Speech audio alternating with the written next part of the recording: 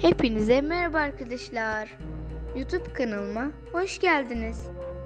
Bugün sizlerle birlikte Senin Çal Kapım dizisinden konuşacağım arkadaşlar. Şimdi ise videomuza geçelim.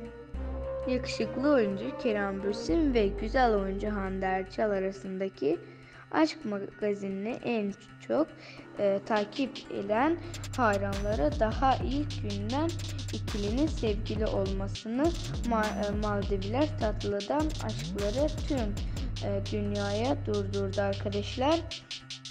Belki de e, ve bu istekleri gerçek oldu. Kerem Bürsin ve Hande Erçel e, çıkartmaları e, ikilinin sevgilisi olmasını e, konumu öğrendi arkadaşlar.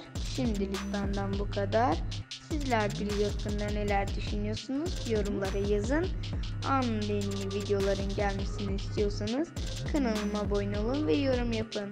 Kendinize iyi bakın arkadaşlar. Bay bay.